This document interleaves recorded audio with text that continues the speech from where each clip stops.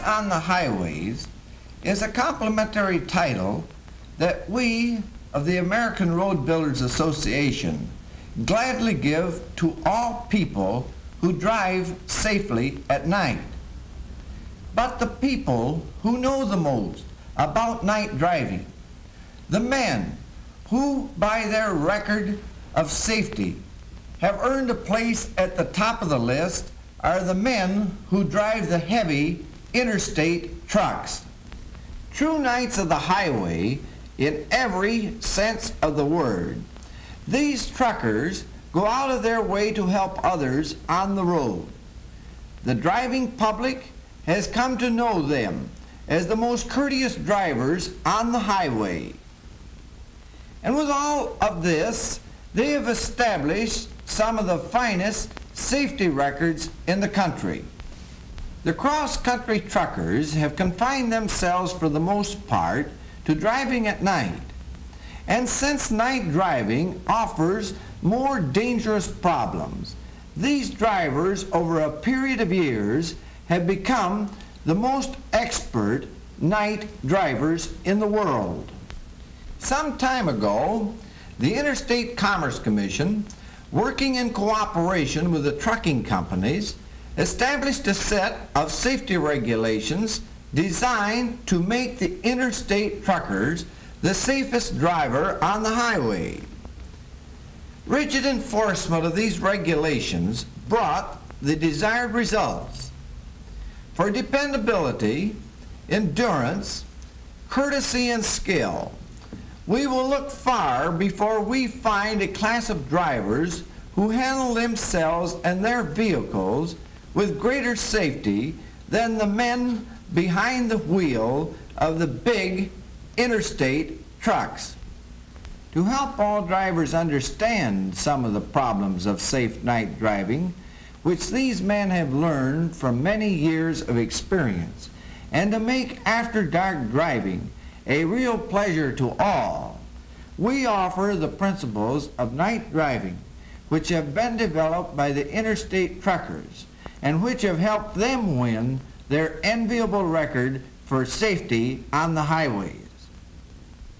Nighttime. Time to hit the open road.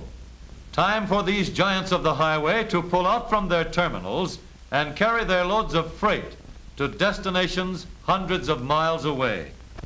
And the man who's going to tool one of these big babies over the night roads stuffs a shipping bill into his pocket, climbs into his cab with no more concern than if he were just going to the corner grocery and rolls out to face the night and the highway.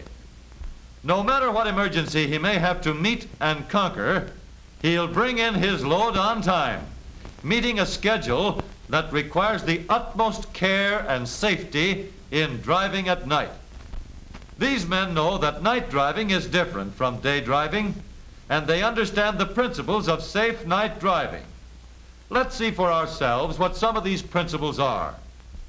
A white cat and a black cat both seem gray in the dark, and so do arms and hands and fingers, because what we see depends on how much light there is to see by.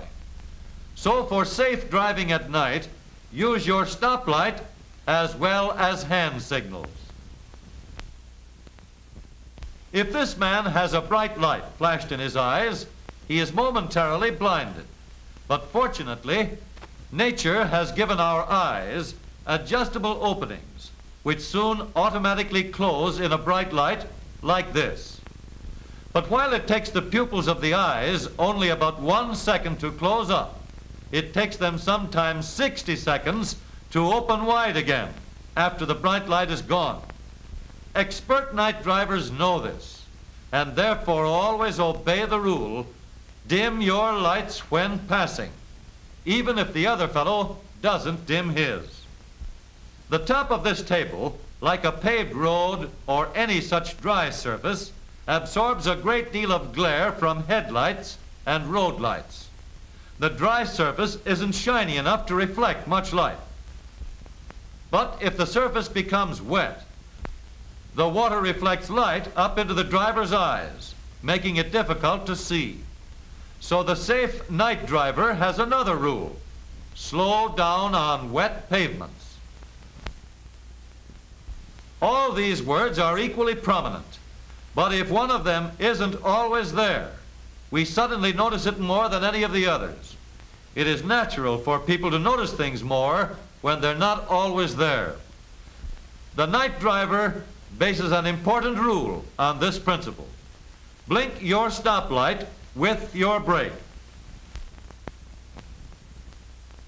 As far as night driving is concerned, we have only as much road to drive on as we can see. If our headlights are dim or the passing beam is on, the road we can see is short. If our headlights are bright, the road is lengthened. But no matter how bright our headlights may be, they give us only a limited amount of road to drive on. On hills, the road we have to drive on is even shorter. And on curves, we cannot always see the road that lies before us. When we are driving along at night, we are safe only so long as we can stop within the distance we can see ahead. If we are driving too fast for safety, we will not be able to stop within the limits of the road that we can see. At night, the road we can safely drive on moves along only within the path of our headlights. So expert night drivers always remember the rule, keep within your headlight beam. And last of all, Mr. and Mrs. Jones illustrate a night driving principle which is familiar to all of us. They have been driving until late at night and still have 60 miles to go. Mrs. Jones is anxious to get home and wants Mr. Jones to finish that snack and get back to his driving. All right, says Mr. Jones. It's just a case of keeping awake for another hour or so. Let's go. Look out, Mr. Jones. You didn't see that chair, did you? Well, Mr. Jones, here's a suggestion. There are some dandy tourist cabins across the road and a nice clean bed would look pretty good right now. That's the idea, Mr. Jones. You'll be home first thing in the morning and safe. Don't drive when sleepy. And so, if we remember these simple rules, the rules that govern the most expert night drivers in the world, we too can make a fine safety record for ourselves and fully enjoy the pleasures of night driving. Thank you.